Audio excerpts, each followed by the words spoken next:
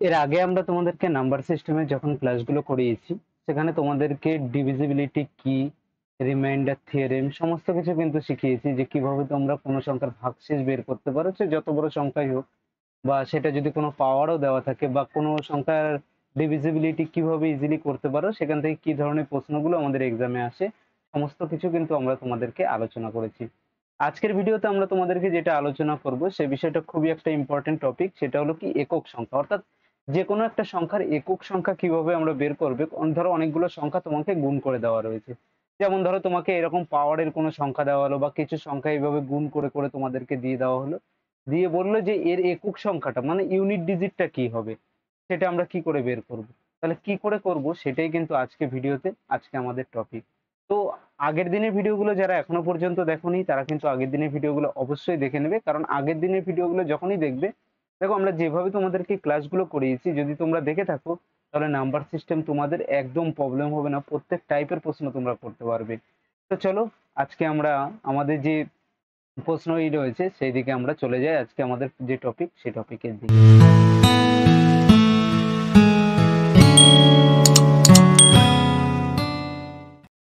তো hello everyone welcome to our channel আর আজকের ভিডিওর আমাদের টপিকই হলো যে ইউনিট ডিজিট বা একক সংখ্যা। ইউনিট ডিজিট কি, তার বেসিক থেকে আলোচনা করে সম্পূর্ণ ট্রিক কীভাবে ইজিলি বের করবে, এই ধরনের প্রশ্নগুলোকে ইজিলি কীভাবে সলভ করবে, সমস্ত কিছু কিন্তু আজকের ভিডিওতে আমরা আলোচনা করব। তো নমস্কার, আমি Shubho welcome to our channel CS education তো দেখো, আমাদের ফার্স্ট টপিক যেটা রয়েছে, সেটা আমাদের কি রয়েছে? সেটা রয়েছে ইউনিট ডিজিট ইউনিট ডিজিট বা যেটাকে আমরা কি বলে থাকি? যেটাকে বলে থাকি একক সংখ্যা।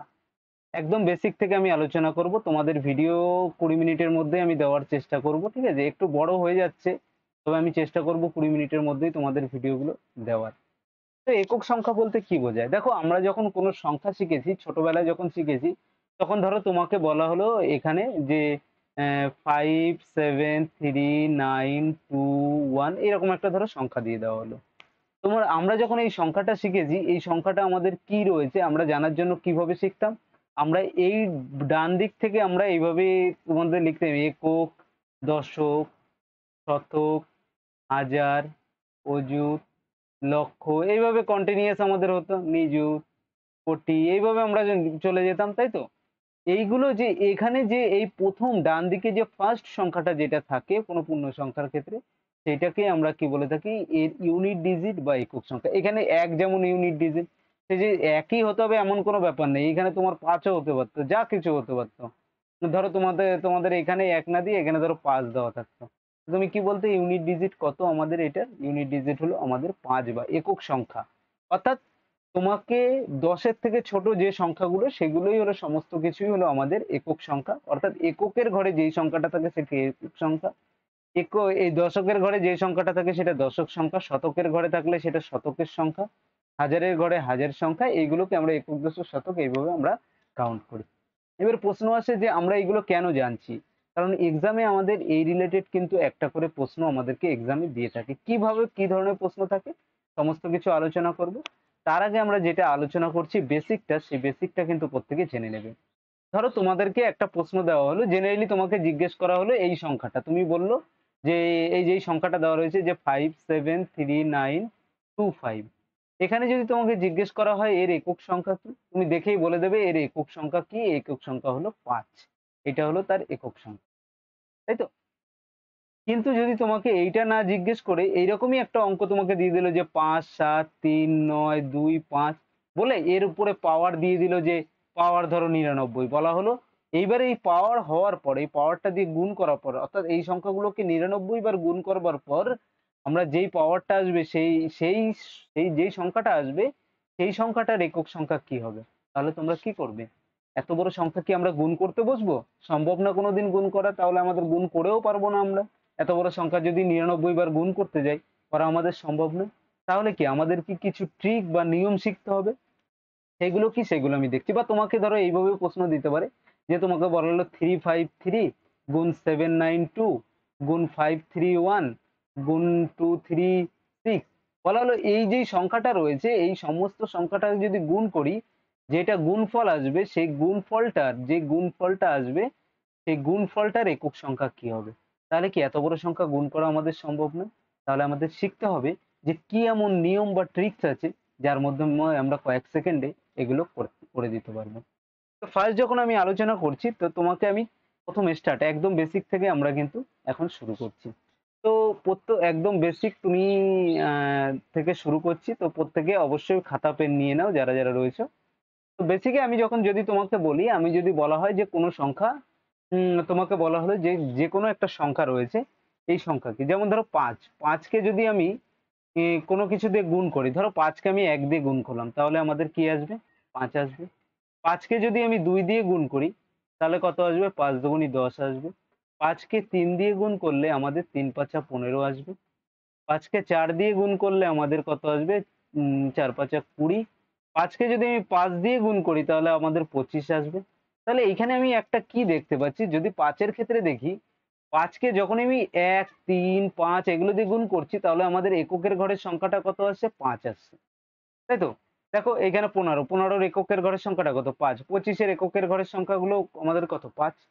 আবার যদি, তার মানে পাঁচকে যদি আমি কোনো বিজোড় সংখ্যা বা অড সংখ্যা দিয়ে গুণ করি অড নাম্বার বিজোড় সংখ্যাকে কি বলি? অড নাম্বার তাহলে অড নাম্বার দিয়ে যদি আমরা গুণ করি, তাহলে আমাদের এককের ঘরে কি আসবে? এককের ঘরে আমাদের সবসময় পাঁচ আসবে। এককের ঘরে পাঁচ আসবে। ঠিক? এখন যদি উল্টো হয় আমরা এইভাবে করি পাঁচকে কোনো ইভেন সংখ্যা দিই। ইভেন মানে কি জোড় সংখ্যা? জোড় সংখ্যা দিয়ে গুণ করি, তাহলে আমি কি দেখতে পাচ্ছি? আমার এখানে যখনই জোড় সংখ্যা দিয়ে করে পাঁচ দুগুণি দশ, চার পাঁচা কুড়ি, পাঁচ ছক তিরিশ, অর্থাৎ এককের ঘরের সংখ্যাটা আমাদের কি আসছে? শূন্য চলে আসবে। অর্থাৎ ইভেন দিয়ে গুণ করলে এককের ঘরে আমাদের সবসময় কি আসবে? শূন্য আসবে। আর অড সংখ্যা দিয়ে যদি গুণ করি, এককের ঘরে আমাদের কত আসবে? পাঁচ। এটা পাঁচের ক্ষেত্রে। তাহলে তুমি যদি তোমাকে যে কোনো একটা সংখ্যা থাকে, যেখানে পাঁচ আর কোনো ইভেন সংখ্যা রয়েছে, তুমি দেখেই বলে দেবে কি, ভাই, একে আমি যখনই গুণ করব তাহলে আমার কি আসবে? এককের ঘরে আমার পাঁচ আসবে। যদি ইভেন সংখ্যা হয় শূন্য আসবে আর অড সংখ্যা হলে পাঁচ আসবে। কেমন যদি তোমাকে বলা হয় যে ধরো বত্রিশ গুণ আমাকে বলা হলো যে ফিফটি ফাইভ বা ধরো সিক্সটি ফাইভ বলা হলো। সিক্সটি ফাইভ তোমাকে বলা হলো যে এই এই সংখ্যাটা যদি গুণ করা হয়, তাহলে এর এককের ঘরের সংখ্যা কি হবে? তাহলে তুমি কি করে করবে? আমি কি সম্পূর্ণ সংখ্যা গুণ করব? করব না। তখন আমরা কি করব? আমরা তখন দেখব যে এর এককের ঘরে কি কি সংখ্যা আছে। আমি দেখলাম এককের ঘরে একটা দুই আছে আর একটা এককের ঘরে পাঁচ আছে। শুধুমাত্র এককের ঘরের সংখ্যাগুলোকেই আমরা গুণ করব। তাহলে এককের ঘরে যদি গুণ করি, একটা পাঁচ আর একটা দুই, তাহলে কত আসবে? একটা ইভেন সংখ্যা রয়েছে মানে জোড় সংখ্যা, আর একটা পাঁচ রয়েছে মানে এককের ঘরে পাঁচ দুগুণি দশের ক্ষেত্রে, অর্থাৎ শূন্য। এই শূন্যই আসবে। এই পুরো সংখ্যাটাকে যদি আমরা গুণ করি, তাহলেও আমাদের কত চলে আসবে? আমরা যদি পুরো সংখ্যাটাও গুণ করি, তাহলেও কিন্তু আমাদের চলে আসবে কি? এককের ঘরে শূন্য চলে আসবে। ঠিক আছে? তোমরা গুণ করে দেখতে পারো। যদি কেউ গুণ করতে চাও গুণ করেও তোমরা কিন্তু এটাকে দেখতে পারো। হ্যাঁ তাহলে আমরা যদি গুণ করেও ফেলি, তোমাকে কি করতে পারি? আমরা করতে পারি যে পঁয়ষট্টি দুগুণই আমাদের কত? একশো তিরিশ তেরো, তিন পঁয়ষট্টি আমাদের কত হয়ে যায়? তিন তিন পঁয়ষট্টি, দুশো পাঁচ, আর তেরো হলো দুশো। সরি একশো পঁচানব্বই আর তেরো হলো তিন পঁয়ষট্টি, একশো পঁচানব্বই আর তেরো হলো দুশো আট। তাহলে দেখো তো, গুণ করলে আমাদের সংখ্যাটা কত আসছিল? টু জিরো এইট জিরো তাহলে এককের ঘরের সংখ্যাটা আমাদের কত আসলো? শূন্য আসলো? তাহলে কি সম্পূর্ণ সংখ্যাটা আমাদের গুণ করার কোনো দরকার ছিল? ছিল না। আমরা জাস্ট কি করলাম? এককের ঘরে গুণ করেই আমরা এটা বের করে ফেলতে পারলাম যে সংখ্যাটা আমাদের শেষ সংখ্যা শূন্য আসবে। সেম এইরকমই একটা ধরো তোমাকে বলা, বলে দেওয়া হলো যে তোমাকে বলা হলো যে তেতাল্লিশ গুণ তোমাকে দেওয়া হলো যে সেভেন্টি ফাইভ তোমাকে বলা হলো এর গুণ যদি করি তাহলে আমাদের এককের ঘরে কি আসবে? আমি দেখলাম একটা আমার পাঁচ আছে। শেষ ঘরে যখনই পাঁচ আছে তখন আমি অন্য কি দেখব যে কোনো জোড় সংখ্যা আছে কিনা এর মধ্যে? আছে না নেই, শুধু বিজোড় সংখ্যা আছে। আর বিজোড় সংখ্যা দিয়ে যদি গুণ করি, এই এককে রেখে দাও, তিন আর পাঁচ, অর্থাৎ শেষ সংখ্যা আমাদের কত আসবে? এককের ঘরে আমাদের পাঁচ চলে আসবে। তাই তো? কারণ কি বিজোড় সংখ্যা যদি থাকে, যে দিয়ে যদি গুণ করি, এককের ঘরে পাঁচ আসে। আর কোনো একটা জোড় সংখ্যা যদি থাকে, আমরা তাহলে আমাদের কত হয়ে যায়? তাহলে আমাদের সবসময় শূন্য হয়ে যায়। এটা বুঝতে পারছি? এটা আমি এক্সাম্পল দিয়ে তোমাদেরকে ফার্স্ট বোঝালাম। বিষয়টা কি? এরপর আমরা কিন্তু ধীরে ধীরে প্রশ্নের দিকে চলে যাব। ঠিক আছে? এবার যদি তোমাকে বলা হয়, তাহলে যেরকম ধরো আরেকটা এক্সাম্পল আমরা নিই। ধরো তোমাকে বলা হলো দুশো পঁচিশ। দুশো পঁচিশ গুণ তোমাকে দেওয়া হলো চৌষট্টি। হ্যাঁ? গুণ তোমাকে দেওয়া হলো হলো ধরো তেরো। তাহলে আমাদের বলা হলো এর একক ঘরের সংখ্যাটা কি হবে? তো ফার্স্ট কাজ আমাদের কি দেখব? আমরা দেখলাম শেষ ঘরে আমাদের কত আছে? একটা পাঁচ আছে। কি আছে? শেষ ঘরে আমাদের একটা পাঁচ আছে। আর এর- মধ্যে কোনো জোড় সংখ্যা, প্রথমেই দেখব জোড় সংখ্যা আছে কিনা, শেষ ইউনিট ডিজিটে এককে দেখলাম হ্যাঁ চৌষট্টিতে ডি, আমাদের একটা জোড় সংখ্যা আছে। সুতরাং আর দেখার আমাদের দরকার নেই। আমরা দেখলাম পাঁচ পেয়ে গেলাম আর একটা চার পেয়ে গেলাম। এই দুটো যদি গুণ করি, একটা হলো পাঁচ আর একটা হলো জোড় সংখ্যা। সুতরাং একক ঘরের সংখ্যা আমাদের কত হবে? শূন্য আসবে। এবার তুমি যত বড় সংখ্যাই দাও না কেন, এককের ঘরে আমাদের এইটাই শূন্যই আসবে, এককের ঘরে। ঠিক আছে? এককের ঘরে আমাদের কি আসবে? একক ইউনিট যেটা রয়েছে ইউনিট ডিজিট ইউনিট ডিজিট বা একক সংখ্যা যেটা রয়েছে, সেটা কি থাকবে? আমাদের শূন্য হয়ে যাবে। তো চলো এরপর আমরা আরও দেখে নিই যে আরও কি কি ধরনের প্রশ্ন আমাদের এক্সামে দিতে পারে। ঠিক আছে?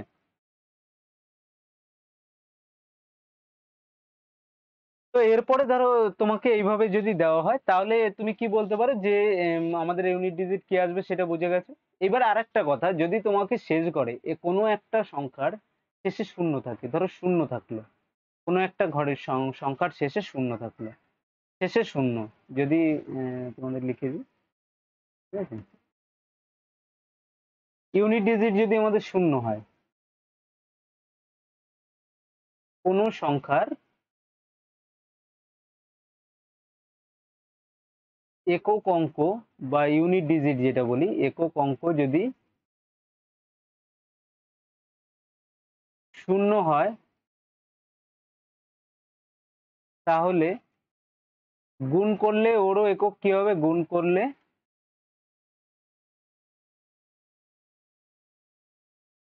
তার একক সংখ্যা কি হবে? একক সংখ্যা সবসময় শূন্য হবে। একক সংখ্যা সবসময় শূন্য হবে। কেমন ধরো তোমাকে বলা হলো যে কোথাও তোমার লেখা রয়েছে একশো পঞ্চাশ গুণ তোমাকে টু নাইনটি থ্রি গুণ ফাইভ সেভেন্টি ওয়ান গুণ হলো সিক্সটি ফোর এইসব দেওয়া রয়েছে। তুমি কি বলবে? তুমি বলবে দেখলে এই যে সংখ্যাটা রয়েছে, এই সংখ্যার মধ্যে একক ঘরে একটাতে আমাদের শূন্য রয়েছে। আর কিচ্ছু দেখার দরকার নেই। এই যত বড় যত সংখ্যাই গুণ করো না কেন এর একক সংখ্যা যেটা রয়েছে, একক সংখ্যা সবসময় আমাদের কি হবে? শূন্য হবে। একক সংখ্যা সবসময় শূন্য হবে। ঠিক আছে? একটা শূন্য আছে মানে সবসময় আমরা শূন্য দেখব। এরপরে ধরো তোমার এখানে যদি পাঁচও থাকতো, কথার কথা এখানে যদি তোমার পঁচিশও থাকতো, তাও তুমি কি বলতে? দেখো তখন আমাদের এই পঁচিশের এইসব কোনো কেস ভাবার দরকার নেই। শূন্য আছে মানে এককের ঘরে সব শূন্য হয়ে যাবে। তখন এই আগের কিছু দেখার দরকারই নেই যে পাঁচ আছে, এটা চার আছে, আমরা গুণ করে দেখব কি আসে। অত কিছু ভাবার দরকার নেই, শূন্য আছে মানে সমস্ত কিছু আমাদের শূন্য হয়ে যাবে। এবার আমরা আমরা কিছু জিনিস এখানে আমরা তোমাদেরকে শিখে নেব, ঠিক আছে? যদি আমরা দেখি যে কোনো জায়গায় আমাদের শূন্য থাকে, দেখো, এবার যদি আমরা পাওয়ারের কেসটা দেখব, আমরা যে ট্রিক টু যেটা রয়েছে ট্রিক টু দু নম্বর ট্রিক যে রয়েছে, সেটাতে আমরা কি দেখব? সেটাতে আমরা দেখব যে পাওয়ারের ক্ষেত্রে কি করে আমরা বের করব? পাওয়ার যদি দেওয়া থাকে পাওয়ারের ক্ষেত্রে, অর্থাৎ উপরে ধরো পাওয়ারের ক্ষেত্রে। ধরো তোমাকে একটা প্রশ্ন এইভাবে দেওয়া রয়েছে যে তোমাকে বলা হলো যে seventy two to the power nineteen এরকম দেওয়া রয়েছে। বলা হলো এর একক ঘরের সংখ্যাটা কি হবে? এর একক সংখ্যা কি হবে? তুমি কি করে করবে?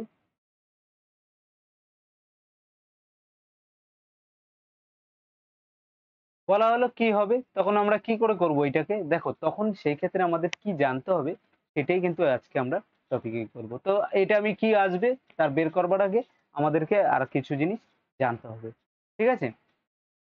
তো রুল যেটা জেনে রাখবে, যে নিয়ম যেটা তোমরা জেনে রাখবে, যেটা জানা তোমাদের খুবই দরকার, সেটা কি? সেটা যদি আমরা বলি যে রুলটা কি, সঙ্গে সঙ্গে আমরা কি বলব?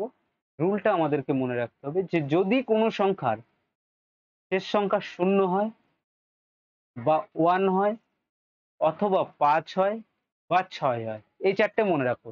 যে যদি শেষ সংখ্যা শূন্য হয়, এক হয়, পাঁচ হয় বা ছয় হয়, এর পাওয়ার এগুলো যদি হয়, যে শেষ সংখ্যা, একক সংখ্যা যদি একক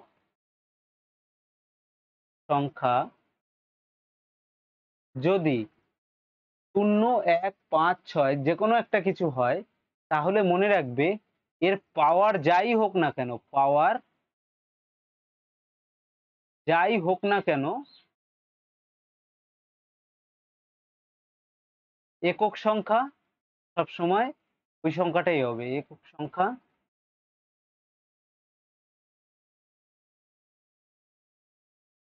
সব সময় শূন্যর ক্ষেত্রে শূন্য হবে, একের ক্ষেত্রে এক হবে, পাঁচের ক্ষেত্রে পাঁচ হবে, ছয়ের ক্ষেত্রে ছয় হবে। অর্থাৎ পাওয়ার যাই হোক না কেন পাওয়ার ডিপেন্ড আমাদের এখানে কোনো ম্যাটার করে না যে পাওয়ার কি আছে। সেক্ষেত্রে আমরা দেখব যদি আমাদের ইউনিট ডিজিট থেকে থাকে, শূন্য থাকে বা এক থাকে বা পাঁচ থাকে বা ছয় থাকে, তাহলে পাওয়ার সবসময় আমাদের যা, যাই হোক না কেন, সংখ্যাগুলো শূন্য থাকলে শূন্যই হবে, এক থাকলে একই হবে, পাঁচ থাকলে পাঁচ হবে, ছয় থাকলে ছয় হবে। কেমন? এক্সাম্পল আমি তোমাদেরকে নিয়ে নিই, তাহলে তোমরা আরও ভালো বিষয়টা বুঝতে পারবে। ধরো তোমাকে বলা হলো যে কোনো একটা সংখ্যা দিয়ে দেওয়া রয়েছে। তোমাকে বলা হলো যে তোমাকে দেওয়া রয়েছে একশো নব্বই। এর পাওয়ার তোমাকে দিয়ে দেওয়া হলো যে টু পাওয়ার টু তাহলেও আমাদের কি আসবে? যাই হোক না কেন, আমাদের এর একক ঘরের সংখ্যাটা আমাদের কত আসবে? সবসময় শূন্যই আসবে। কি আসবে? একক ঘরের সংখ্যাটা আমাদের কি আসবে? সবসময় শূন্য আসবে। যা, দেখো, তো উনিশের আমরা যদি করি উনিশ স্কোয়ার তাহলে আমরা কি বলতে পারি? উনিশ স্কোয়ার যখনই আমাদেরকে বলা হলো যে তোমাকে বলা হলো উনিশ স্কোয়ার বের করো, তুমি কি করবে?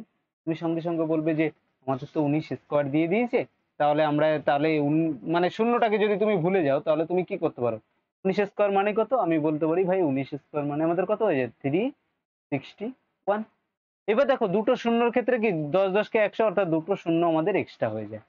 এটা তো, যদি আমরা গুণ করতাম, তাহলে আমাদের একশো নব্বই স্কোয়ার করলে আমরা প্রথম উনিশকে স্কোয়ার করতাম তিনশো একষট্টি, আর শূন্য একটা আছে, দুবার হয়ে যাবে মানে দুটো হয়ে যেত। তাহলে একক ঘরের সংখ্যাটা আমাদের কত আসতো? দেখো তো, একক ঘরের সংখ্যাটা শূন্যই আসতো। সেরকম যদি তোমাকে একশো নব্বই এর কিউব করতো, সেই ক্ষেত্রেও আমাদের কি? যাই হোক না কেন, একশো উনিশকে প্রথমে কিউব করলাম, পরে কি তিনটে শূন্য হয়ে যেত? অর্থাৎ এর ক্ষেত্রেও আমাদের ইউনিট ডিজিটটা কি হয়ে যেত? শূন্য হয়ে যেত। অর্থাৎ পাওয়ার আমাদের জোর হোক, বিজোর হোক, যা থাকুক না কেন, আমরা সেই ক্ষেত্রে কি বলব? পাওয়ার আমাদের যাই থাকুক না কেন, আমরা প্রত্যেক ক্ষেত্রে আমাদের কি আসবে? যদি শূন্য থাকে, শূন্যই আমাদের কিন্তু চলে আসবে। ঠিক আছে? এবার সেম ক্ষেত্রে যদি পাঁচের ক্ষেত্রে, ধরো পাঁচের ক্ষেত্রে তোমাকে বলা হলো, আমি ছোট এক্সাম্পল নিয়ে বোঝাই, তাহলে ভালো বুঝতে পারবে, ঠিক আছে? তোমাকে যদি বলা হয় পাঁচ, তার স্কোয়ার তুমি কি বলতে পাঁচের স্কোয়ার পঁচিশ। তোমাকে বলা হলো পাঁচ তার কিউব তুমি কি বলতে পাঁচের কিউব মানে কত? আমরা একশো পঁচিশ। তোমাকে বলা হলো five to the power four তুমি কি বলতে পঁচিশ পঁচিশ ছশো পঁচিশ। তাহলে দেখো তো পাওয়ার আমার জোর হোক বিজোর হোক, যাই হোক না কেন, শেষ ঘরের সংখ্যাটা আমাদের কত? সবসময় ক্ষেত্রে পাঁচই আসছে। এটা যেমন প্রত্যেক ক্ষেত্রে শূন্য আসছিল, এইটার প্রত্যেক ক্ষেত্রে আমাদের পাঁচই আসছে, তাই তো? এবার তোমাকে এইরকম দেওয়া হলো, তোমাকে দেওয়া হলো three two five nine five তার তোমাকে টু দি পাওয়ার পনেরো করে দেওয়া হলো। বলা হলো এর একক সংখ্যা কি? তুমি কি করবে? তুমি বলবে, ভাই, আমি তো এত বড় সংখ্যা নিয়ে আমার কোনো কাজই নেই, কারণ আমাকে বের করতে দিয়েছি কি? বের করতে দিয়েছে একক সংখ্যা। যেহেতু একক সংখ্যা বের করতে দিয়েছে, আগের সংখ্যা আমি ভুলে যাই, আগের সংখ্যা আমার কি আছে, কে নেই, আমি কি করব? শুধুমাত্র এককের ঘরের সংখ্যাটাকে দেখব। এককের সংখ্যা আমার পাঁচ দেওয়া রয়েছে। আর আমি পাঁচের ক্ষেত্রে কি জানি, পাওয়ার যাই হোক না কেন, একক সংখ্যা আমাদের সবসময় ক্ষেত্রে আমাদের পাঁচই হবে। তাই তো? একক আমাদের যে পাওয়ার যাই দেওয়া থাকুক না কেন, একক সংখ্যা যদি পাঁচ হয়, তার পাওয়ার যাই হোক না কেন, আমাদের যেই একক সংখ্যাটা বের করবে এই পাওয়ারটা অর্থাৎ এত গুণ করবার পর সেটা আমাদের পাঁচই ঠিক আছে? সেম ভাবে ধরো তোমাকে ছয় দেওয়া হলো। তোমাকে যদি বলা হয় সিক্স স্কোয়ার তুমি কি বলবে? ছত্রিশ। সিক্স কিউব তুমি বললে দুশো ষোলো। এইভাবে কন্টিনিউয়াস হচ্ছে। বা এইভাবে যদি কন্টিনিউয়াস হয়, তুমি কি বলবে? তুমি বলবে যে দেখো পাওয়ার আমাদের ছয়ের ক্ষেত্রেও যাই হোক না কেন আমাদের সে জোর হোক বিজোর হোক, যাই পাওয়ার হোক না কেন, সবসময় শেষ সংখ্যা, একক সংখ্যাটা আমাদের ছয়ই আছে। সেম ভাবে আমি যদি আমার ইসের ক্ষেত্রেও দেখি ওয়ানের ক্ষেত্রে, ওয়ানের তো জানোই, যে কোনো ওয়ানের ক্ষেত্রে যদি three one one two one এই যাই হোক না কেন পাওয়ার আমাদের হাজার পাঁচ, যাই কিছু দিক না কেন, তুমি কি বলবে, এককের ঘরে এক আছে। পাওয়ার যাই হোক না কেন ইউনিট ডিজিট বা একক সংখ্যা আমাদের একই হবে। অর্থাৎ আমরা এখানে কি দেখতে পেলাম? আমার যদি আমাদের এককের ঘরের সংখ্যাটা যদি শূন্য, এক, পাঁচ, ছয় কোনোটা থাকে, পাওয়ার যাই হোক না কেন, আমাদের যে ইউনিট ডিজিট যেটা বের করতে দেবে একক সংখ্যা, সেটা আমাদের সবসময় সেই সংখ্যাটাই বের হবে। ঠিক আছে? এবার দেখো টোটাল আমাদের সংখ্যা কত? টোটাল আমাদের সংখ্যা হলো হলো, আমরা যদি কাউন্ট করি zero one two three four five six seven eight nine এই দশটা সংখ্যা টোটাল এর মধ্যে দেখো আমাদের কোন কোন সংখ্যা হয়ে গেছে, আমরা যদি কাউন্ট করি যে আমাদের কোন কোন সংখ্যা অলরেডি নেওয়া হয়ে গেছে, তোমরা কি বলবে? তোমরা বলবে যে আমার জিরো হয়ে গেছে অলরেডি জিরো ওয়ান তো হয়ে গেছে। হুম? এইদিকে ছয় হয়ে গেছে আমাদের, আর কি হয়ে গেছে? পাঁচ হয়ে গেছে। এই চারটে সংখ্যার আমরা অলরেডি শিখে ফেলেছি, যে পাওয়ার যাই হোক না কেন, যা থাকবে জিরো থাকলে জিরো ওয়ান থাকলে ওয়ান পাঁচ থাকলে পাঁচ, ছয় থাকলে আমাদের ছয়ই হবে। ঠিক আছে? দেখো ভিডিও তবুও অনেক বড় হয়ে যাচ্ছে, ঠিক আছে? আমি বেসিক চেষ্টা করছি তোমাদেরকে ছোট করার, তবুও দেখো বোঝাতে গিয়ে অনেকটা বড় হয়ে যাচ্ছে। আমি নেক্সট দিন তোমাদেরকে এর এক্সাম্পল নিয়েও আলোচনা করব। আজকে এক্সাম্পল নিয়ে করছি নেক্সট দিন এর প্রশ্নগুলো আমি তোমাদেরকে সলভ করাবো। তাহলে কি হবে? আজকের এইটা পুরো রিভিশন হয়ে যাবে তোমাদের, ঠিক আছে? এরপর যেটা আমাদেরকে দেখতে হবে, সেটা হলো আমাদের কি রয়েছে? আর রয়েছে দুই রয়েছে, তিন রয়েছে, সাত রয়েছে, আট রয়েছে, ঠিক আছে? তাহলে আমি যদি দুই দেখি আহ, দুইয়ের আগে দাঁড়াও আমি দুইয়ের আগে তোমাকে চার আর নয়েরটা দেখিয়ে দিই আমাদের। এছাড়া কি রয়েছে? চার রয়েছে। চার রয়েছে আর নয় রয়েছে। এই দুটোতে এই দুটো হলো বর্গ সংখ্যা তাই তো? এক থেকে দশের মধ্যে এক বাদে আর এই এই দুটোও কি বর্গ সংখ্যা তাই তো? এক তো অলরেডি হয়ে গেছে তাহলে চার আর নয়। চার আর নয়ের ক্ষেত্রে কি দেখবে? চার আর নয় যদি মনে রাখবে এগুলো কিন্তু একক ঘরের সংখ্যা। যদি unit digit unit digit digit যদি ইউনিট ডিজিট চার বা নয় হয় সেই ক্ষেত্রে যদি পাওয়ার দেখো চারের ক্ষেত্রে যদি আমি এক্সাম্পল নিয়ে আগে বোঝাই যদি চারের তুমি পাওয়ার ওয়ান করো অর্থাৎ চার টু দি পাওয়ার চার আক্ষে চার হয় চারের স্কোয়ার করলে কত হয়ে যায়? ষোলো হয়ে যায়। চারের কিউব করলে আমাদের কত হয়ে যায়? চারশো এবং চৌষট্টি হয়ে যায়।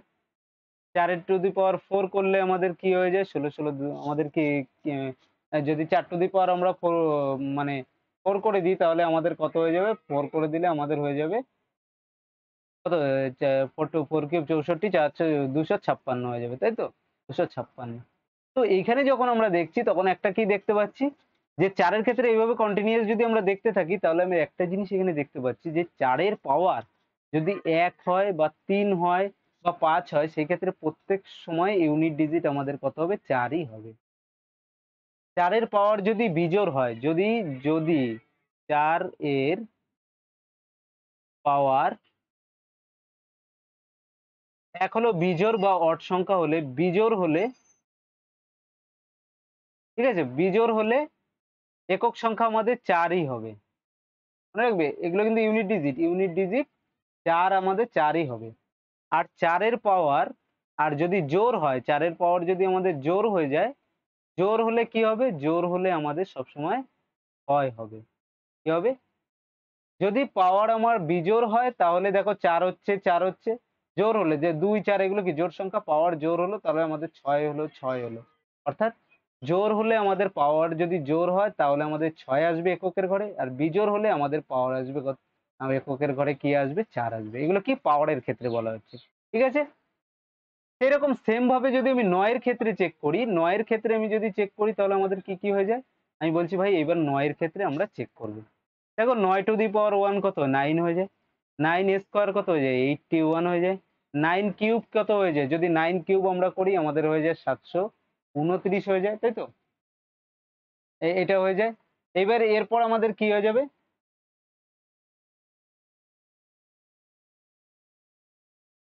যদি এরপর নাইন নয় নয় দুগুণে নয় নং একাশি নয়ন কিউব। এবার nine to the power four যদি করি, তাহলে আমাদের কত হয়ে যায়? আমাদের সিক্স ফাইভ সিক্স ওয়ান এইটা হয়ে যায়, তাই তো? সিক্স ফাইভ সিক্স ওয়ান এইটা হয়ে সিক্স ফাইভ সিক্স ওয়ান এইটা হয়ে যায়। তাহলে আমি কি বলতে পারছি? এইখানে আমি একটা জিনিস দেখো, এটা যদি চেক করি, আমি দেখছি পাওয়ার যখন বিজোর হচ্ছে, নয়ের ক্ষেত্রে, এবার যদি আমি বলি নয়ের ক্ষেত্রে নয়ের ক্ষেত্রে পাওয়ারের যখন আমরা দেখছি, আমরা তো পাওয়ারের কেস দেখব এরপর। পাওয়ার যদি বিজোর হয়, যদি কি কি হয়? এক হয় বিজোর পাওয়ার কি হতে পারে? হয় বিজোর হতে পারে, না হলে জোর হতে পারে। তাই তো? তাহলে যদি পাওয়ার বিজোড় হয়, তাহলে আমরা কি এক, তিন এগুলোর ক্ষেত্রে দেখো শেষ সংখ্যা আমাদের কত আসছে? একক ঘরের সংখ্যা নয়ই আসছে আমাদের। একক ইউনিট ডিজিট কি আসছে? আমাদের নয় আসছে। আর যদি জোর হয়, তাহলে কি টু চার এগুলো কি? দুই, চার এগুলো জোর তাহলে এককের সংখ্যা আমাদের কি আসবে? এক আসবে। এক আসবে। ঠিক আছে? ইউনিট ডিজিট এক আসবে। কেমন এক্সাম্পল নিয়ে নিই তাহলে আরও ভালো বুঝতে পারবে। ধরো তোমাদেরকে বলা হলো যে সাতশো উনত্রিশ টু দি পাওয়ার ফাইভ তুমি কি বলবে? বলা হলো এর একক সংখ্যা কি হবে? আমরা কি এই সম্পূর্ণ সংখ্যা গুণ করব? আমরা করব না। আমাদের কাজ কি থাকবে? আমাদের কাজ থাকবে আমরা একক ঘরের সংখ্যাটা দেখি। একক ঘরে আমাদের কত আছে? নাইন আছে। তখন যখনই দেখলাম আমাদের নাইন আছে, এখন পাওয়ার কি? পাওয়ার আমাদের কি আছে? বিজোড় আছে। তাহলে nine to the power five এইটুকু আমাদের ভাবতে হবে, এই সম্পূর্ণটা ভুলে যাও, এইটুকু ভুলে যাও, তুমি এটুকু ভুলে যাও। তাহলে nine to the power five অর্থাৎ পাওয়ার কি হলো? আমাদের বিজোড় হয়ে গেল। এককের ঘরের সংখ্যাটাই শুধু নেব তো, আর আগের সংখ্যা আমরা দেখব না, কারণ আমাদের বের করতে হবে একক সংখ্যা। Nine to the power five তাহলে এটা যেহেতু বিজোড় হয়ে গেছে, তার মানে আমরা কি বলব? এই টোটাল সংখ্যাটা যদি গুণ করি আমাদের এককের সঙ্গে, বিজোড় হলে কত হয়? নাইন নাইন হবে, তাই তো? নয়ের পাওয়ার যদি আমাদের বিজোড় হয়, আমাদের কত হয়ে যাবে? নয় হয়ে যাবে। তাহলে সাতশো উনত্রিশ টু দি পাওয়ার ফাইভ যদি করি, এই সংখ্যা পাঁচবার গুণ করার পরেও যেই সংখ্যাটা বের হবে, তার পাওয়ার আমাদের কি হবে? নয়ই হবে আমাদের। ঠিক আছে? এবার যদি তোমাকে ওই রকম না বলে এরকম দেওয়া তেরো টু তেরোশো সিক্সটি নাইন এর পাওয়ার দেওয়া দেওয়া দেওয়া হলো ছাব্বিশ। তুমি কি করবে? এইটার কি করে বের করবে? তুমি বলছে যে, কি করব? এর একক সংখ্যা যখনই বের করতে বলা হয়েছে, আমি প্রথম একক সংখ্যাটাকে দেখব, একক সংখ্যা নয় আছে। তার মানে আমি ভাববো nine to the power six twenty six এর যা পাওয়ার হবে, পুরো সংখ্যাটারও পাওয়ার তাই হবে, যদি পাওয়ার করি, গুণ করি। তার উপরে পাওয়ার কি? আমাদের জোর। আর জোর হলে নয়ের ক্ষেত্রে আমাদের কত চলে আসে? ওয়ান চলে আসে। সুতরাং আমাদের এই টোটাল সংখ্যাটার যদি পাওয়ার টোয়েন্টি সিক্স করি, তাহলে তার একক সংখ্যা যেটা হবে, সেটাও একই আমাদের হবে। চারের ক্ষেত্রে ওইভাবে দেখতে পারো। যদি চারের ক্ষেত্রে দেখা তোমাদের দেওয়া হলো ওয়ান টু থ্রি ফোর এর পাওয়ার দেওয়া হলো একশো দুই। তুমি কি করবে জোর পাওয়ার আছে আর এটা চার আছে মানে আমাদের কত চলে আসবে? ইউনিট ডিজিট ঘরে মানে আমরা ভাববো যে আমাদের উপরে সব ভুলে যাব যে চারশো দুই বার একশো দুই আছে। তাহলে চারে যদি জোর হয় তাহলে আমাদের কত হয়ে যায়? ছয় চলে আসে। যদি এটা উল্টো হতো ওয়ান টু থ্রি ফোর দিয়ে তোমাকে বলা হলো তিনশো তেষট্টি। আমি বড় বড় পাওয়ার নিয়ে দেখাচ্ছি। তুমি আমাদের কি করা দরকার? দেখলাম বিজোর পাওয়ার আছে।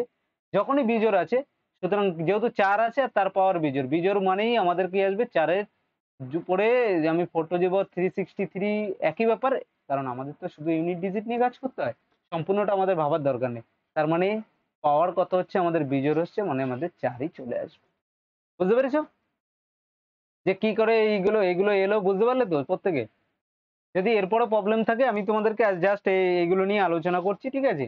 এইটুকু নিয়ে আলোচনা করলাম, যেটুকু তোমাদেরকে আর নেক্সট ভিডিওতে আমরা তোমাদেরকে আলোচনা করব যে আজকে তোমাদের দুটো প্রশ্ন সলভ করিয়ে দিই সলভ করে দিয়ে তারপরে নেক্সট ভিডিওতে আমরা তোমাদেরকে আলোচনা করব যে কি এরপরে যেই সংখ্যাগুলো আমাদের বাকি রয়েছে সেগুলো নিয়ে। ঠিক আছে?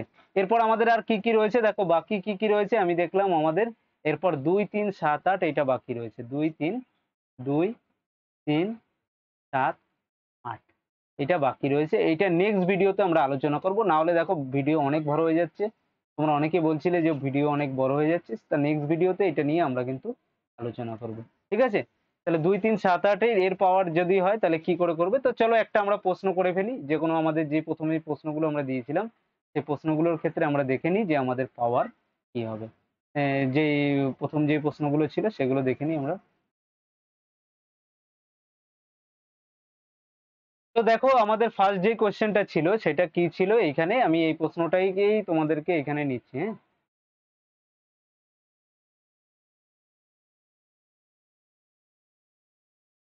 দাঁড়াও, তোমাদের এখান থেকে আমি এই প্রশ্নটাকে নিয়ে নিই, ঠিক আছে?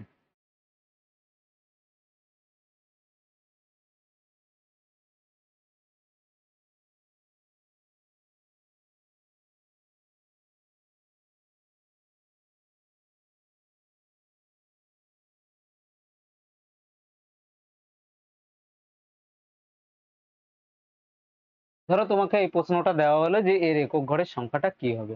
তাহলে কি করে করবে এই ধরনের যে প্রশ্নটা রয়েছে? তো আমরা এই প্রশ্নটাকে করব কীভাবে? দেখলাম আমাদের কি আছে? এখানে বারো to the power twenty one আর পনেরো to the power thirty seven. তো এই ক্ষেত্রে আমাদের কি? আমরা দুই তিন এখনও শিখিনি না? ও আচ্ছা দুই যেহেতু শিখিনি, তাহলে আমি এটাকে চার বানিয়ে দিই, ঠিক আছে? এটাকে চার বানিয়ে দিই, যেহেতু দুই এখনও শিখিনি, তাহলে দুইয়ের তো তোমাদের করা সম্ভব না। এটা চার করে দিই, এটা চোদ্দ টু দি পাওয়ার একুশ ধরো দেওয়া রয়েছে। বলা হলো এর একক ঘরের সংখ্যাটা কি হবে? তাহলে কি করে করব আমরা? আমাদের দেওয়া রয়েছে চোদ্দ টু দি পাওয়ার একুশ। তাহলে পাওয়ার কি? এর একক ঘরের সংখ্যা। আমাদের একক স্থানের সংখ্যাটা বের করতে বলা হয়েছে, তাতে ইউনিট ডিজিটটা আমাদের বের করতে হবে। ইউনিট ডিজিট আমরা কি করব? এইটা চোদ্দ টু দি পাওয়ার একুশ মানে কি? চার, আমরা একক ঘরের সংখ্যা আমাদের কত যায় চার চার টু দি পাওয়ার একুশ। তাহলে চারের উপর পাওয়ার যখন বিজোড় হয়, তাহলে আমাদের এটা কত চলে আসে? চারই চলে আসে আমাদের। তাই তো? কারণ চোদ্দ, এইখানে যেটা রয়েছে চোদ্দ টু দি পাওয়ার একুশ রয়েছে। আমি কি দেখব? আমার একক ঘরের সংখ্যা কত? চার। অর্থাৎ আমি ভাববো আমার এখানে রয়েছে চার টু পাওয়ার একুশ। তাহলে চারের পাওয়ার যদি আমাদের একুশ হয়, তাহলে আমাদের কি করব? আমাদের একক ঘরের সংখ্যা যেহেতু বিজোড় রয়েছে মানে চারই আসবে আমাদের। তাই তো? এবার অনেকে প্রশ্ন হতো এক কেন ধরলাম না? কারণ এক ধরলাম না এই কারণেই যে আমাদেরকে বের করতে দিয়েছে শুধু ইউনিট ডিজিট, একক সংখ্যা। সেই জন্য আমরা একক সংখ্যা নিয়েই কাজ করছি। বুঝতে পেরেছ? তাহলে এটা কত হলো? চার চলে এলো। মাঝখানে কি আছে? প্লাস চিহ্ন আছে। আর এটা পাঁচ, পাঁচের পাওয়ার আমরা কি বলেছিলাম? যাই হোক না কেন, একক ঘরের সংখ্যা আমাদের কি? যেহেতু পাঁচ আছে পাওয়ার যাই হোক না কেন, আমাদের পাঁচই হয়ে যাবে। অর্থাৎ এটা আমাদের কত হয়ে গেল? পাঁচ হয়ে গেল। এবার কি করলাম? এর একক ঘরের সংখ্যা চার, এর একক ঘরের সংখ্যা পাঁচ, তাহলে যোগ করলে কত? চার আর পাঁচ, নয়। সুতরাং এই টোটাল যেই সংখ্যাটা রয়েছে, এই টোটাল সংখ্যাটাকে যদি আমরা পাওয়ার করে যোগ করি, তাহলে আমাদের একক ঘরের সংখ্যা কত হবে? এই যেটা বেরোলো নয় এই নয়ই হবে। নয় হবে আমাদের অ্যান্সার ঠিক আছে? অ্যান্সার কি চলে আসবে? নয় হয়ে যাবে। তাহলে পুরো সংখ্যা কি আমাদের এই গুণ বা কিছু করার দরকার হলো? হলো না। জাস্ট আমরা যেগুলো শিখলাম, তার উপরেই প্রশ্নটা আমরা কিন্তু সলভ করতে পারলাম। তো ফ্রেন্ডস আশা করি ভিডিওটা তোমাদের ভালো লেগেছে। ভিডিওটাকে ভালো লাগলে লাইক শেয়ার করো। আর ভিডিওগুলো একটু বড় হয়ে যাচ্ছে, আমি চেষ্টা করছিলাম ছোট করানোর, কিন্তু তোমাদের যেহেতু করাচ্ছি আমি একদম বেসিক থেকে ভিডিওগুলো একটু বড় হয়ে যাচ্ছে। প্রত্যেকে ফ্রেন্ডস ভিডিওটাকে লাইক শেয়ার করে দাও। যারা এখনও পর্যন্ত আমাদের চ্যানেলটাকে সাবস্ক্রাইব করোনি, তারা কিন্তু অবশ্যই চ্যানেলটাকে সাবস্ক্রাইব করো। ইউটিউবে আমাদেরকে সাবস্ক্রাইব করে নাও এবং ফেসবুকে আমাদের যে পেজটা রয়েছে পেজটাকেও কিন্তু তোমরা লাইক করো। ফেসবুকেও তোমরা ভিডিওগুলো পেয়ে যাবে। একটু টাইমিংটা আলাদা হতে পারে ফেসবুকে ঠিক আছে? কিন্তু ফেসবুকেও তোমরা ভিডিওগুলো পেয়ে যাবে। তোমাদের জন্য যে টেলিগ্রাম গ্রুপটা আমরা বানিয়েছি, শুধুমাত্র এই পরিশ্রম ব্যাচের স্টুডেন্টদের জন্য, সেই টেলিগ্রাম গ্রুপটা কিন্তু প্রত্যেকে জয়েন করে নেবে। আর আমরা যেভাবে তোমাদেরকে ম্যাথ করাচ্ছি, সম্পূর্ণ ক্র্যাশ কোর্স তোমাদেরকে ফ্রি করাচ্ছি। তোমরা পেইড কোর্সে যেমন ক্লাস হয়, তেমন ক্লাসে কিন্তু আমি তোমাদেরকে করাচ্ছি যাতে তোমাদের কোনো রকম প্রবলেম না হয়। ভিডিওগুলোকে লাইক শেয়ার করে দাও। চ্যানেলে প্রথম হলে চ্যানেলটাকে কিন্তু সাবস্ক্রাইব করে নাও।